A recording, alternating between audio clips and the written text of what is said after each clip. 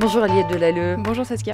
Le 18 mars 1937, la compositrice Mélanie Bonis mourait à Sarcelles à l'âge de 79 ans, malade et épuisée. Oui, les dernières années de sa vie, elle les a passées allongées. Elle recevait allongée, lisait allongée, composait allongée, alors qu'elle pouvait encore se déplacer ou au moins rester assise, mais non, Mélanie Bonis en avait trop vu, elle avait trop vécu.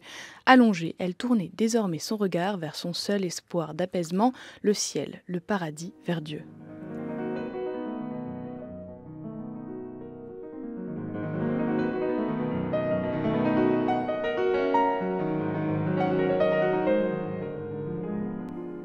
On entend ici le début de Mélisande, pièce pour piano de Mel Bonis. Mel, on passe déjà au surnom? Ouais, en fait, c'est en fait c'est le surnom qu'elle s'est elle-même donné, Mel Bonis, pour que ses œuvres soient jugées au même niveau que celles des hommes.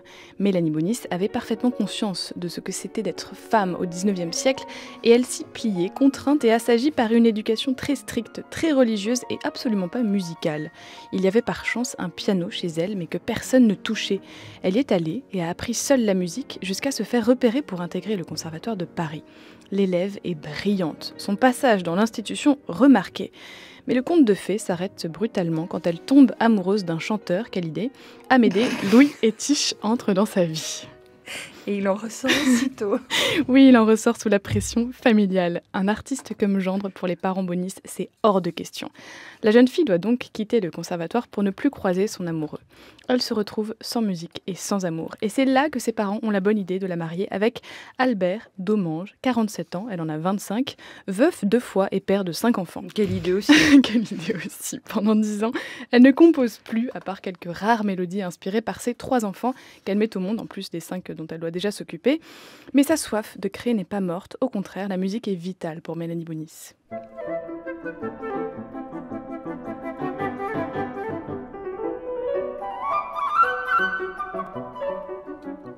Elle retrouve son premier amour, qui est devenu critique musical influent, poète et chanteur. Il va l'encourager à composer et c'est ce qu'elle va faire. Son nom circule alors dans le milieu musical, ses œuvres sont éditées et jouées, et puis tout s'effondre quand, elle quand elle attend de nouveau un enfant et pas de son mari. Un enfant illégitime sous le bras, elle tombe dans une sorte de crise de la quarantaine. Elle écrit une jolie femme n'a pas besoin d'être intelligente, disent ces messieurs. En effet, pour ce que vous en faites, il suffit d'être pourvu de grâce et de passivité. Seulement, pauvre créature, passé 30 ans, vous serez mise au rebut et au XXe siècle, ça pourrait bien aller jusqu'à 40. Elle arrête toute coquetterie et sombre dans un sentiment profond de culpabilité et de tristesse. Mais cet état va lui faire faire des merveilles. Elle prend le temps de composer avec sérieux et application. Pendant cinq ans, elle peaufine son premier quatuor avec piano, un chef-d'œuvre.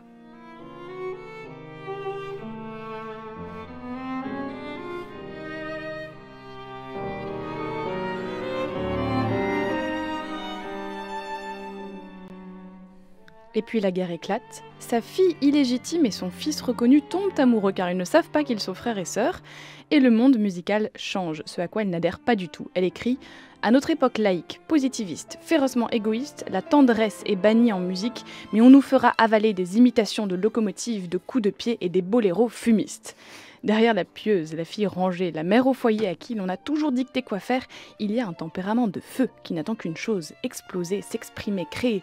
Elle l'a fait comme elle le pouvait, et il nous reste aujourd'hui de Melbonis des œuvres très belles et des récits de vie assez incroyables, collectés entre autres par son arrière-petite-fille Christine Géliot, qui fait un travail remarquable. Et dont on a eu un petit avant-goût ce matin avec toutes ces aventures. Merci beaucoup Aliette. On va se quitter avec encore un peu de Melbonis euh, qui va donner peut-être des idées au trio Zadi qui est toujours en studio. Une pièce pour piano, violon, violoncelle, ça tombe bien. Euh, le soir, opus 76 de Melbonis. Merci beaucoup, Aliette. Merci, Saskia. On réécoute cette chronique sur francemusique.fr et on la retrouve en vidéo sur les réseaux sociaux. À la semaine prochaine. À la semaine prochaine.